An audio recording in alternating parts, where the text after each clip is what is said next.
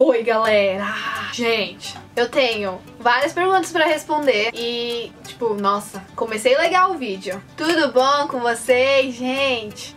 Ó, faz um tempinho, algumas semanas atrás, acho que umas duas, três, eu pedi pra vocês fazerem perguntas lá no... Então, enfim, eu falei assim, Comentem, façam perguntas na minha última foto do Insta e eu vou responder. Então, total são 93 perguntas, óbvio, né? Vou ter que escolher algumas e lá vamos nós. Emily Oliver perguntou qual é a minha câmera. Eu uso a T5i e ela é muito boa, recomendo, da Canon. Luiz Underline Ribeiro 06 perguntou como foi trabalhar com o Ministério Infantil. Meu, foi o meu primeiro. Foi a primeira coisa que eu fiz na igreja, foi o Ministério Infantil. E, cara, é uma relação de amor. É, você aprende muito com as crianças e você exercendo o Ministério Infantil. Você aprende muito. Acho que vai, 60% da base que eu tenho vem do Ministério Infantil, sabe? Eu aprendi muita coisa lá. E crianças, cara, elas testam sua paciência, então você cresce muito em nível de paciência, juro. E quando eu comecei o Ministério Infantil, eu era super nervosa. E isso me serviu pra, assim, pra me fazer uma pessoa mais calma, mais paciente, a entender mais o próximo, porque crianças são super espontâneas, elas falam na sua cara, tipo, você é muito chata. Mas resumindo, o Ministério Infantil é incrível, eu acho que é fundamental, é a base da igreja, sabe? Se as crianças da sua igreja não estiverem ok, tá tudo ruim, entendeu? Porque elas vão ser a voz da geração agora, entendeu? Então, as crianças, o Ministério Infantil é mega, mega, mega importante. T, T Cortesão perguntou o que achou do primeiro ano da faculdade? Eu vou fazer um vídeo sobre o primeiro semestre, segundo semestre e um resumão do primeiro ano da faculdade. Mas assim, cara, eu tô gostando muito.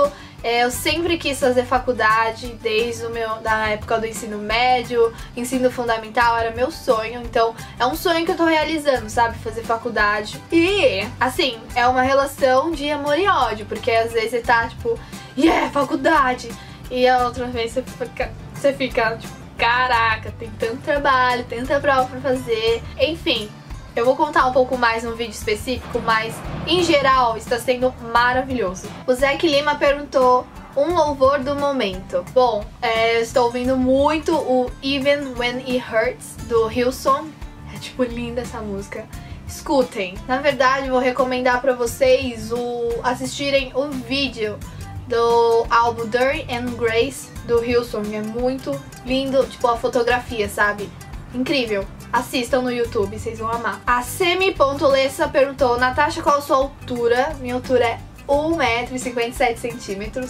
Essa pergunta é muito legal. A I4TTS perguntou, Natasha, muitos jovens estão prestes a entrar na faculdade e eu percebo que muitos deles têm medo de desviar do caminho do Senhor ao entrar nesse meio. Qual é a sua dica? Se na sua faculdade possui alguma coisa voltada para o público evangélico. Cara, é a questão de, tipo, relacionamento com Deus. Se o seu relacionamento com Deus tá, tipo, ok, cara, as chances de você desviar são poucas, sabe? Acho que não tem essa de você ser Maria vai com as outras, sabe? Você tem que ter a cabeça, tipo, ter sua opinião, entendeu? Mas, uma coisa legal que você falou aqui é se na minha faculdade existe alguma coisa voltada para o público evangélico. Minha faculdade é cristã, então sempre rola alguns cultos, tem vários grupos cristãos. Mas se sua faculdade não for cristã, você pode procurar um Pockets, que é o que eu faço parte, eu faço parte do Dunamis Pockets. Eu vou deixar o link aí embaixo para vocês entrarem e ver se na faculdade que vocês vão prestar, vão querer entrar, tem o Dunamis Pockets. Dunamis Pockets é uma reunião que acontece toda semana com os jovens, os próprios estudantes lá da faculdade e a gente se reúne, cara, compartilha testemunhos, experiências e palavras e louvores e é muito, muito lindo. A Giovanna Pellegrini perguntou: já se apaixonou por alguém? Não. Tipo, eu. A Yumi Underline Ro perguntou: Você tá namorando? Que série está assistindo? Não, não estou namorando e. Tô vendo várias séries. De cabeça agora eu vou lembrar, porque eu assisto muitas séries de verdade, se você tem aquele aplicativo TV Showtime, é um aplicativo que organiza séries e tal, me segue lá pra você ver quais séries eu tô assistindo, porque são várias. Eu tenho mais de 50 séries mesmo. Mas eu vou recomendar uma que eu tô assistindo, tô amando, que é o Blind Spot, tem no Netflix. Na Netflix. É mulher, mulher. Caraca, tô amando, sério. Recomendo pacas. Aí a Lu Show 1809 perguntou qual é a série e o livro do momento. A série é o Blind Spot e o livro que eu tô gostando muito, que é o Rainha Vermelha. Leiam, é, é muito bom, gostei. O final te deixa, tipo, Tá falando sério? Underline Kiara Andrade perguntou se você visse uma pessoa maltratando um animal na rua e tivesse a oportunidade de fazer algo, que diria? Eu daria vários golpes ninjas. Cara, não sei. É, eu, eu sou uma pessoa muito revoltada em relação a isso. Então, provavelmente, sei lá, meu, eu sei que eu iria até lá e eu não sei o que eu ia falar. Sério, eu ia precisar muito do Espírito Santo da ajuda para não sair do controle. Mano! Tem umas perguntas muito. Tá falando sério. Não, os melhores são os comentários dos meus amigos aqui. Nossa, só. só. O Victor Underline Ram perguntou como você se imagina daqui a 10 anos. Deixa eu ver. Eu vou ter 28 anos, tipo, ainda vou estar tá nova. Cara, não sei, eu pretendo que com 28 eu já esteja, tipo, num relacionamento sério com alguém, sei lá, casada ou não, sei lá.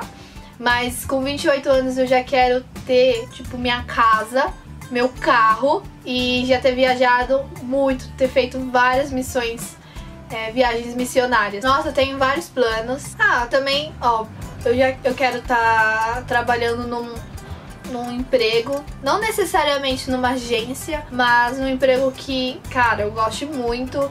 E eu pretendo continuar com o YouTube, com o blog. Vai ser muito louco, meu. Vai ser louco eu olhar esse vídeo daqui uns 10 anos. Meu, imagina como o YouTube vai estar tá daqui 10 anos. Nossa, não vai ter mais TV, só vai existir o YouTube, certeza. Nossa, essa pergunta. A Ana Tia me perguntou: você gostaria de ver as Olimpíadas de 2020? Porque sim! Nossa, eu quero muito e vou até começar a, sei lá, juntar dinheiro pra ir, né? Se Deus quiser, eu vou conseguir. Porque é no Japão, mano! E eu nunca mais voltei pro Japão desde que eu voltei. Tipo, nunca mais voltei pro Japão desde que eu voltei. Então, eu quero muito ir pro Japão. E pra ver as Olimpíadas vai ser fantástico. A Beca MDRS perguntou se eu tenho alguma fobia. É... Não sei se chega a ser fobia, mas eu tenho muito, muito, muito medo de barata. Acho que é uma fobia. Desde o episódio da calça, que eu contei nos 20 fatos sobre mim. E se você não viu, assista. Que lá eu falo um pouquinho mais de como foi esse episódio da calça e da barata. Foi horrível. Bom, e pra finalizar, a última pergunta é da Tá Underline Brito. Ela perguntou por que você está tão sumida do YouTube? Ha. Pois é, nem eu sei. Não, é na verdade é uma mistura de tudo, sabe? É uma mistura de. É, sabe, preguiça. De falta de tempo também. Daí, tipo, quando eu tenho um tempo, eu uso esse tempo pra dormir ou pra ficar vendo Netflix, sabe? E, mas é uma coisa que Deus tem me cobrado, sabe? Pra voltar a fazer vídeos, porque eu sinto que é um instrumento muito grande, sabe? E, cara, eu tenho que aproveitar isso, sabe? Porque apesar de sempre sumir daqui, vocês sempre me tratam com muito, muito carinho, sabe? Eu todo dia tem alguma mensagem, ou no Snapchat, ou no Instagram, Facebook, todo lugar, sabe? Então eu vejo a importância, sabe? De postar vídeos aqui. E e aí, às vezes, eu fico chateada também por falta de criatividade, porque eu vejo que o YouTube tá crescendo tanto e assim, tem vários vídeos repetidos, então você ser original aqui no YouTube, criar conteúdos originais é mega difícil, mas, cara, relaxa, eu não vou desistir disso aqui, eu não vou desistir da gente e vai dar tudo certo. Orem por mim, juro, e me enviem mensagens e também hum, o que vocês querem ver aqui no canal, tá bom? Gente, então é isso. Eu espero muito que vocês tenham gostado dessas perguntas. Foram rápidas, eu acho que eu nem respondi tipo, um quarto do que tinha. Mas eu espero que vocês tenham gostado, tá bom? Fiquem com Deus e até o próximo vídeo. Beijo, tchau!